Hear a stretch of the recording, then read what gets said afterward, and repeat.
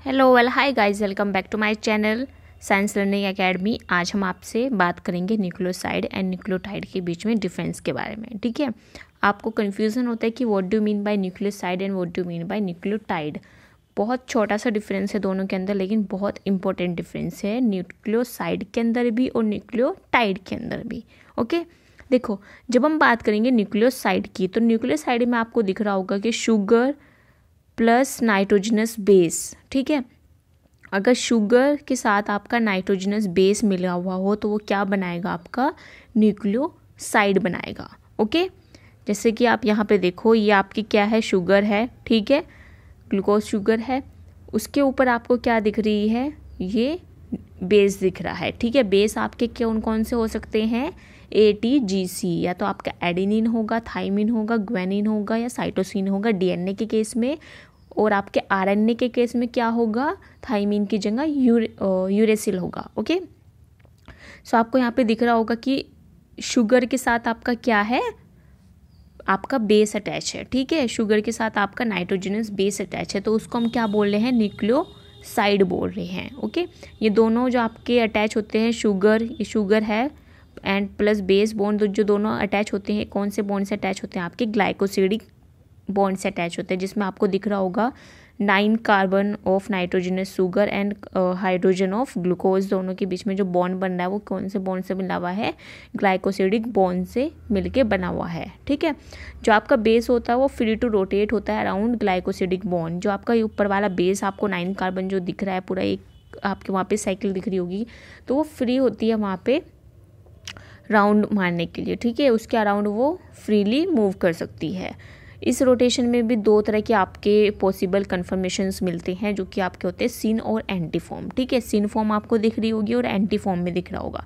ठीक है सिन फॉर्म में देखो सिन प्यूरिन जहाँ पे लिखा हुआ वहाँ पे नाइन कार्बन किस साइड है और आपका शुगर किस साइड है। ठीक है, उसके बाद आपका एंटी फॉर्म में देखो तो दोनों दूसरी साइड है। ठीक है तो ये प्यूरिन्स में दोनों एक दूसरे के एक्सचेंज हो जाते हैं, लेकिन पायरेमिडीन में वाले में क्या होता है, सिर्फ़ आपकी एंटी फॉर्म बनती है, उसमें सिनफॉर्म नहीं बनती है। उसमें क्यों नहीं बनती है सिनफॉर्म क्योंकि वहाँ पे क्या होता है, जो आपका स्टेरिक हिंड्रेंस है, वो ज़्यादा हो जाता है, जिसकी वजह से आपका उसके अंदर सिनफॉर्म नहीं बन सकती, उसके अंदर सिर्फ़ एंटी फॉर्म बनती है। स्टेरिक हिंड्रेंस होता है आपका oxygen and carbon five in syn form ठीक है? सिन फॉर्म में क्या होगा? आपके जो कार्बन फाइव है और आपका ऑक्सीजन है, उन दोनों के बीच में क्या होगा? स्टेरिक हिंड्रेंस हो जाएगा, जिसकी वजह से आपकी सिन फॉर्म स्टेबल नहीं होती। है पायरिमिडीन के अंदर पायरिमिडीन के अंदर आपकी एंटी फॉर्म स्टेबल होती है और आपके प्यूरिन्स की अगर बात करेंगे तो सिन एंड एंटी दोनों फॉर्म वहाँ पे आपकी बन जाती है ओके अगर आपको प्यूरिन एंड पायरिमिडीन्स भी नहीं पता है तो आप मुझे बता दीजिए, मैं उन, उसके ऊपर भी आपको एक लेसन आपको प्रोवाइड कर दूँगी, ठीक है?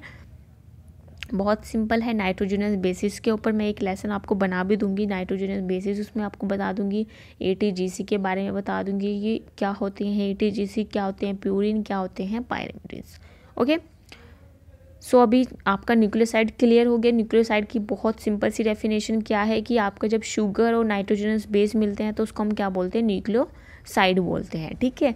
अब आते हैं न्यूक्लियोटाइड के ऊपर। देखो न्यूक्लियोटाइड क्या होता है? जब आपका न्यूक्लियोसाइड यानी कि आपका जो ये डायग्राम है जो आपको दिख रहा है ना शुगर प्लस बेस इसके साथ अगर आपका फॉस्फेट भी जुड़ जाए तो वो क्या बनाएगा? आपका न्यूक्लियोटाइड बनाएगा ठीक है? न्यूक्लियोटाइड क्या हुआ? Nucleoside plus phosphate equal to nucleotide. अब जो न्यूक्लियोटाइड है, वो क्या होते हैं? मोनोमेरिक यूनिट्स होते हैं, जो कि कंप्राइज करते हैं आपके न्यूक्लिक एसिड को डीएनए और आरएनए देखो डीएनए और आरएनए जो है आपका पूरे न्यूक्लियोटाइड के बिना अधूरा है, ठीक है? न्यूक्लियोसाइड से सिर्फ़ आपका डीएनए और आरएनए नहीं बनेगा, आपको फॉस्फेट भी वहाँ पे जोड़ना पड़ेगा, ओके? तो न्यूक्लियोटाइड से जाके आपका डीएनए और आरएनए फॉर्म होगा। तो मेनली इनका फ़ंक्शंस क्या होते हैं आपके न्यूक्लियोटाइड के? न्यूक्लियोटाइड जो होते हैं, वो formation of energy currency like a ATP and GTP ये क्या करते हैं आपके? ए एटीपी एंड जीटीपी के फॉर्मेशन के अंदर इनको यूज़ किया जाता है एज एन एनर्जी करेंसी इनको यूज़ किया जाता है। ये प्रिकॉर्सर्स होते हैं आपके सेवरल इम्पोर्टेंट कोएंजाइम के, जो कौन कौन से आपके? N A D N A D P F A D and coenzyme A इन सब इम्पोर्टेंट कोएंजाइम के क्या होते हैं? प्रिकॉर्सर्स होते हैं।